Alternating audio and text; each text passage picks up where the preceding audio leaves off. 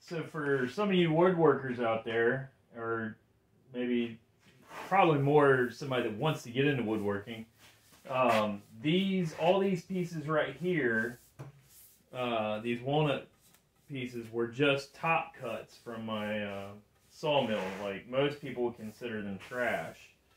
So I decided instead of just putting them in the wood stove or whatever, uh, get the old planer out and plane them down flat and throw a little sand them up a little bit throw a little Watco oil on them which is what I'm using right now and make some uh, racks out of them and Amazon's got a ton of options for the uh, the hangers and they're really really easy to do and these are just absolutely beautiful pieces of wood that would have otherwise been, you know, trash.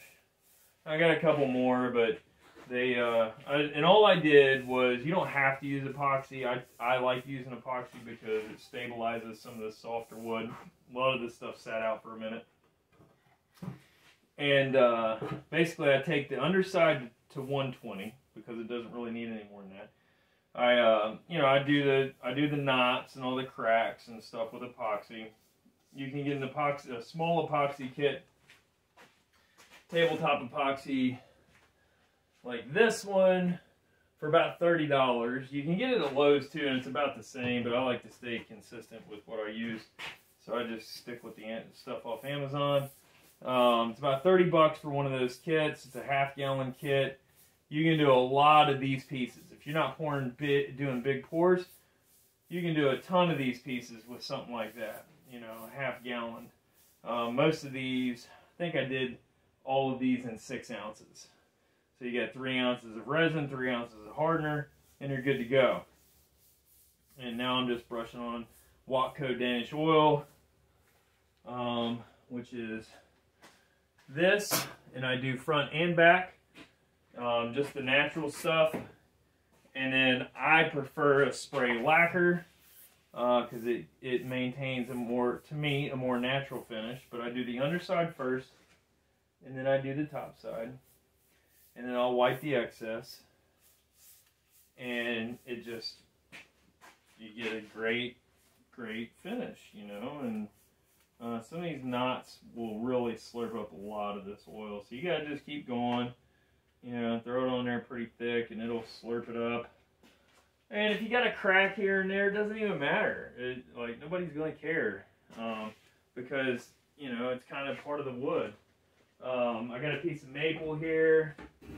Um, you know, it's just a really, really good, easy project. And you're basically using trash wood. If you know somebody with a sawmill, a local guy, you know, somebody like me that's got a small sawmill, typically we don't mess with these top cuts or these round cuts because it's just too much effort. And I had some time and we just wanted to do something with them, so coat racks it is. And, um, you know, it's, it's just a wicked, wicked easy project. Um,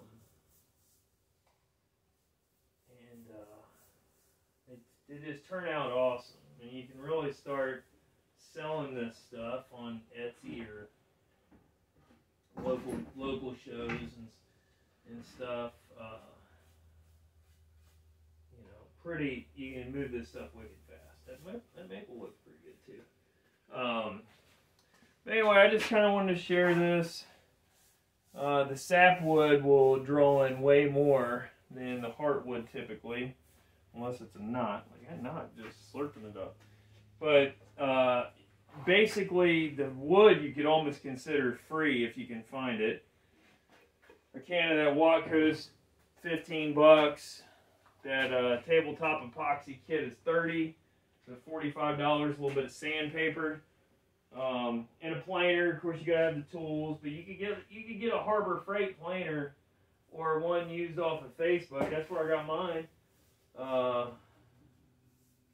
and uh, you know, for hundred bucks, a couple hundred bucks, and uh,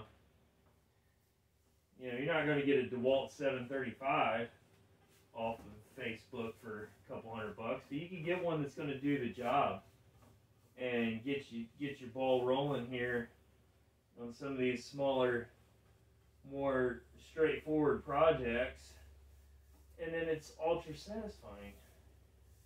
Um, the maple's all right. It's not not as good as that walnut, but it's pretty good. And uh, basically, what I do is I'll leave this Watco to sit for uh, about three days, and uh, let it cure up real good. And obviously, if it's colder out, it takes longer to cure. Oh, I gotta wash that up, but but you know, like this was gonna be a piece of trash. That was gonna be a piece of trash, and it's just stunning. You know, and you throw some.